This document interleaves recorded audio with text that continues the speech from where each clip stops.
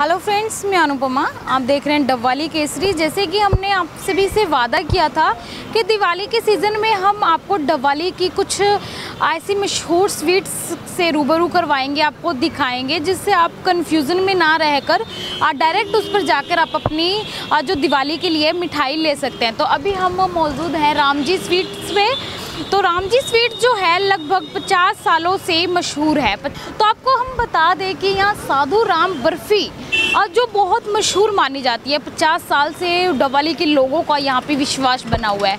तो आज हम जानने आए हैं कि 50 साल से इनकी एक जो बर्फ़ी है वो क्यों मशहूर है और उसका टेस्ट कैसा है?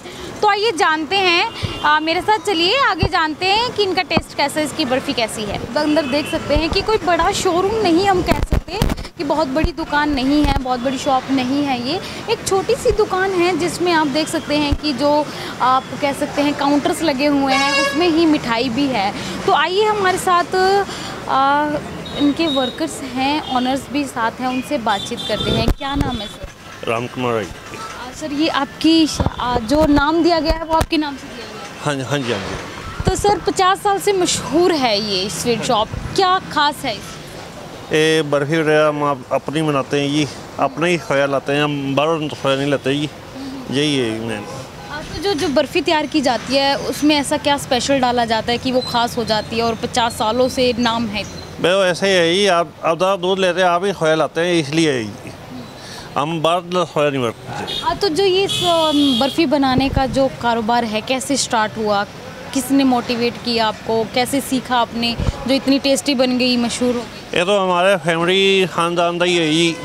साढ़े पहले फादर जी बनाते थे उदो करते थे हौली हौली लड़ते लड़े नार ऐसे ही चलता रहे। अच्छा, जो पहले आपके फादर साहब हैं हाँ हाँ हाँ जी हाँ जी तो आपकी बर्फ़ी जो फ़ेमस है हम देख सकते हैं एक बार? हाँ हाँ जी हाँ जी हाँ हाँ बिल्कुल बिल्कुल।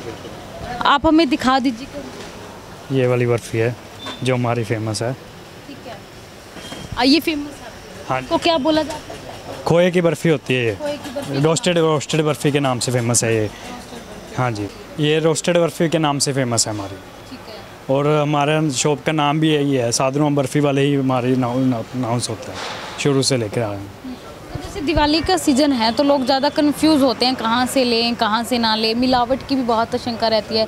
तो इससे आप कितनी की आप हम माने कि लोग आप पे विश्वास हमारे पे शुरू से लेकर जब भी हमारा नाम आएगा ना तो विश्वास अपने आप आ जाएगा कि हमें कभी भी हमें कस्टमर को ये कहने की ज़रूरत नहीं पड़ती कि हाँ हमारे पास ही अच्छी क्वालिटी मिलेगी। लोग अपने आप आते हैं, अपने आप टेस्ट करके, अपने आप ही पता लग जाता है कि उनको कि क्वालिटी है। शुरू से जब भी हमारा नाम, जब, जो भी चीज़ के साथ हमारा साथ नाम जुड़ गया ना, वो समझ लिए उसके साथ अपने आप क्वालिटी जुड़ गई। हमने शुरू से पच्चीस साल हो गए आज हमको। पहले हमारे दादाजी बनाते थे, फिर फादर साहब हो रही ठीक है, तेरह चौदह साल की उम्र में डैडी और काम पर लग गए थे। पहले अकेली एक रेडी थी छोटी सी रेडी फिर हमने एक दुकान की फिर दो की थी। अब दो दुकानें हो रहे हैं एक कॉलोनी रोड पे है एक मेन बाज़ार में उधर एक ये है हमारी। और तो, तब से लेकर आज तक हमने ना क्वालिटी वाइज कभी कॉम्प्रोमाइज़ किया है ना हम कभी करेंगे।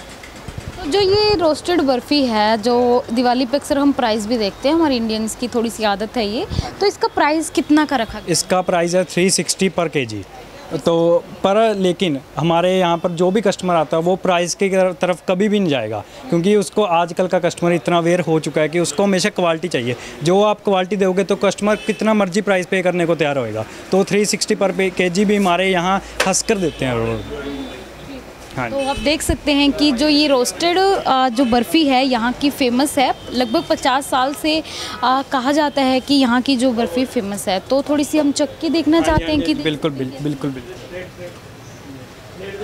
तो अभी भैया हमारे लिए ला रहे हैं तो हम टेस्ट करके देखेंगे कि कैसी है कैसी नहीं है और मार्क्स भी देंगे जैसे कि आपको पता है एंड में हम सभी स्वीट्स है चाहे कोई भी शॉप है उसको हम टेस्ट करके मार्क्स भी देते हैं।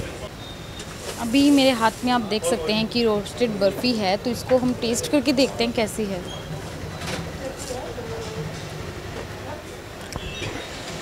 हाँ अच्छी है आप डबले की जो जनता है दिवाली पे इस वक्त, जो रामजी स्वीट्स है उस पर विश्वास करके आ सकती है। उन पर नहीं तो मुझ पर विश्वास जो पहले नहीं जानते, वो मुझ पर विश्वास करके आ सकती है। जब तक मैंने जो आज तक जो बर्फ़ी खाई है, उससे काफ़ी अच्छी है और क्वालिटी भी काफ़ी अच्छी है। तो टेन में से हम मार्क्स इनको देते हैं नाइन। तो जैसे कि आपको पता ही है, और भी आगे आपको ऐसे ही दिखाते रहेंगे जुड़े रहिए डबल केसरी के साथ में, अनुपमा, कैमरामैन बलकन सिंह के साथ।